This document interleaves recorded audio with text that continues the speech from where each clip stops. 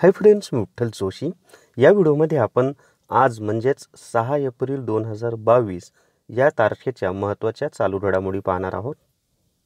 पहिला प्रश्न आहे महाराष्ट्र शासनाने महाराष्ट्र विधवा पेन्शन योजनेची सुरुवात कोणत्या वर्षी केली? तर महाराष्ट्र शासनाने महाराष्ट्र विधवा पेन्शन योजनेची सुरुवात दोन हजार एकवीस या वर्षी केलेली आहे. आता आपण या योजनेची थोडी विशेष माहिती पाहूयात. तर ही योजना महाराष्ट्रातील आर्थिक दुर्बल घटकातील विधवा महिलांसाठी आहे. याच्यामध्ये हे याच्यावर असा प्रश्न येऊ शकतो की महाराष्ट्र शासनाने सुरू केलेली विधवा पेन्शन योजना कोणासाठी आहे? तर आर्थिक दुर्बल घटकातील विधवा महिलांसाठी आहे. या योजनेअंतर्गत गरीब कुटुंबातील विधवा महिलांना दरमहा सहाशे रुपयांची आर्थिक मदत केली जाते. या योजनेसाठी महाराष्ट्र सरकारने तेवीस लाखांचे बजेट तयार केले आहे. या योजनेचा लाभ घेण्यासाठी अर्जदार महिलेचे वय पासष्ट वर्षांपेक्षा कमी असावे. त्याच्या पुढे पहा.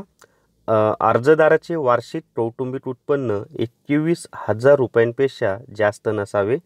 जर एखाद्या कुटुंबात लाभार्थी महिलेला एकापेक्षा जास्त मुले असतील तर त्या कुटुंबातील महिलेला दरमहा नऊशे रुपये पेन्शन म्हणून दिले जातात.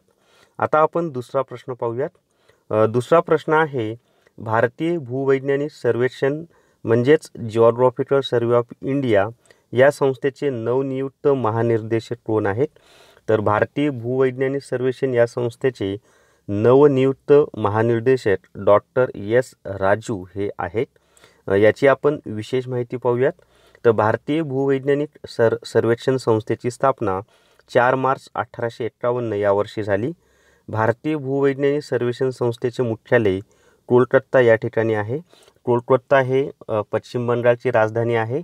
या ठिकाणी हावरा बि ब्रिज आहे. तसंच हुबळी ही जी गंगा नदीची एक वितरिका आहे तिच्या तीरावर कलकत्ता हे शहर वसलेलं आहे. त्याच्या पुढचा प्रश्न पाहूयात आपण आता.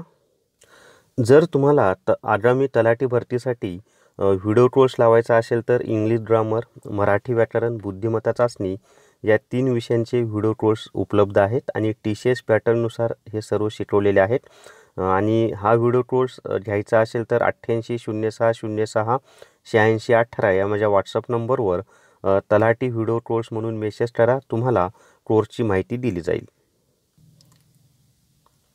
Prevention of money laundering act निर्णायक प्राधिकरणाचे नवीन अध्यक्ष कोण झाले आहेत. तर विनोदानंद झा हे prevention of money laundering act निर्णायक प्राधिकरणाचे नवीन अध्यक्ष झाले आहेत. आता याच्याविषयी विशेष माहिती पाहूयात. तर P M L A prevention of money laundering act P M L A हा कायदा दोन हजार दोन साली संसदेमध्ये मंजूर झाला. त्यावेळेला एन डी एचं शासन होतं म्हणजे भाजपचं अटल बिहारी वाजपेयी हे पंतप्रधान होते. पी एम एल ए या कायद्याची अंमलबजावणी एक जुलै दोन हजार पाचपासून सुरू झाली आहे. पी एम एल ए हा फौजदारी गुन्ह्याबाबतचा कायदा आहे. त्याच्यानंतर या कायद्याअंतर्गत संपत्ती जप्त करणे संपत्तीचे हस्तांतरण रूपांतरण आणि विक्री याच्यावर बंदी घालणे अशी कार्यवाही केली जाऊ शकते. म्हणजे संपत्ती जप्त केली जाऊ शकते आणि त्याच्या पुढचं जे आहे संपत्तीचे हस्तांतरण रूपांतरण आणि विक्री याच्यावर बंदी घा घातली जाऊ शकते.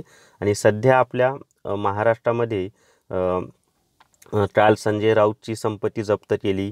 त्याच्यानंतर नवाब मलिकची आज तुरुंगामध्ये आहेत. तर हे सर्व या पी एम एल ए कायद्याअंतर्गत कारवाई होत आहे हे लक्षात असू द्या. म्हणजे ई डी ज्या काही कारवाया करत आहे ना त्या बहुतेक कारवाया ह्या पी एम एल ए या कायद्याअंतर्गत केल्या जात आहेत. त्याच्या पुढचा प्रश्न आहे महिला विश्वचषक क्रिकेट स्पर्धा दोन हजार बावीस ही स्पर्धा कोणी जिंकली? तर महिला विश्वचषक क्रिकेट स्पर्धा दोन हजार बावीस ही स्पर्धा ऑस्ट्रेलिया या देशानं जिंकलेली आहे. याच्याविषयी माहिती पहा. या स्पर्धेचे आयोजन न्यूझीलंड या देशामध्ये करण्यात आले होते. न्यूझीलंड हा जो देश आहे ना हा ऑस्ट्रेलिया खंडामधीलच देश आहे. या स्पर्धेच्या अंतिम सामन्यात इंग्लंडचा पराभव करून ऑस्ट्रेलिया महिला क्रिकेट संघाने ही स्पर्धा जिंकली. याच्यामध्ये काही परीक्षेने आपल्याला असे प्रश्न विचारले जातात की ऑस्ट्रेलियाने कोणाचा पराभव केला तर इंग्लंडचा. ऑस्ट्रेलिया महिला क्रिकेट संघाने ही स्पर्धा आत्तापर्यंत सात वेळा जिंकली आहे आणि हा एक जागतिक विक्रमच आहे. महिला विश्वचषक क्रिकेट स्पर्धेची सुरुवात एकोणीसशे त्र्याहत्तर या वर्षी झाली आणि या स्पर्धेचा प्रथम विजेता देश इंग्लंड हा होता. त्याच्यानंतर महिला विश्वचषक क्रिकेट स्पर्धेत सर्वाधिक विकेट घेणारी खेळाडू भारताची झुलन गोस्वामी ही आहे. त्याच्या पुढे पहा. एकूण सहा महिला विश्वचषक क्रिकेट स्पर्धेत खेळणारी जगातील पहिली महिला खेळाडू भारताची मिताली राज आहे. म्हणजे मिताली राज ही जी भारतीय महिला खेळाडू आहे क्रिकेटर तिनं आत्तापर्यंत सहा विश्वचषक क्रिकेट स्पर्धा खेळलेल्या आहेत.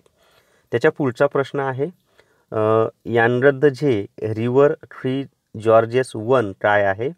तर Yangtze River Three Gorges One हे इलेक्ट्रिक क्रूज जहाज आहे. म्हणजे विजेवर चालणारं क्रूज जहाज आहे.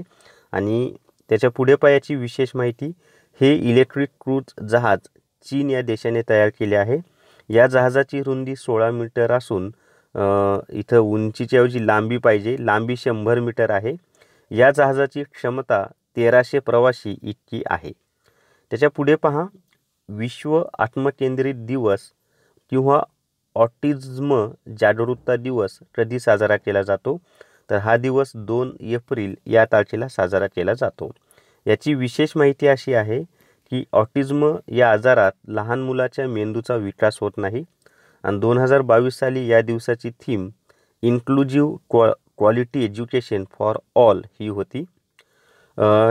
खेळो इंडिया युनिव्हर्सिटी गेम्स दोन हजार एकवीस ही स्पर्धा कोणत्या राज्यात झाली? तर खेळो इंडिया युनिव्हर्सिटी गेम्स दोन हजार एकवीस ही स्पर्धा जी आहे ती कर्नाटक या राज्यामध्ये झालेली आहे. याच्याविषयी विशेष माहिती पहा. कोरोनाच्या लाटेमुळे ही स्पर्धा दोन हजार एकवीसमध्ये होऊ शकली नाही.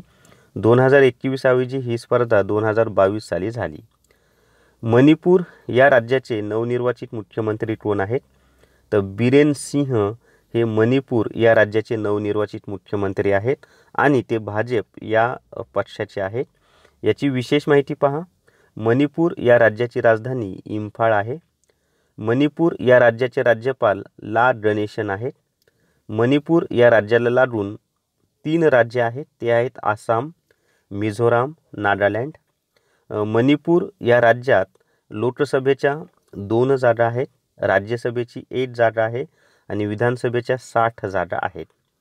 लोटटोट सरोवर मणिपूर या राज्यात आहे.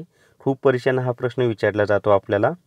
राखाल हे लोटरुत्ते मणिपूर राज्याशी संबंधित आहे. आणि टी सी एस पॅटर्नमध्ये आपल्याला राज्य आणि त्याच्याशी संबंधित जे डान्सचे प्रकार आहेत त्याच्यावर प्रश्न विचारले जातात. म्हणून मी तुम्हाला ही माहिती दिलेली आहे.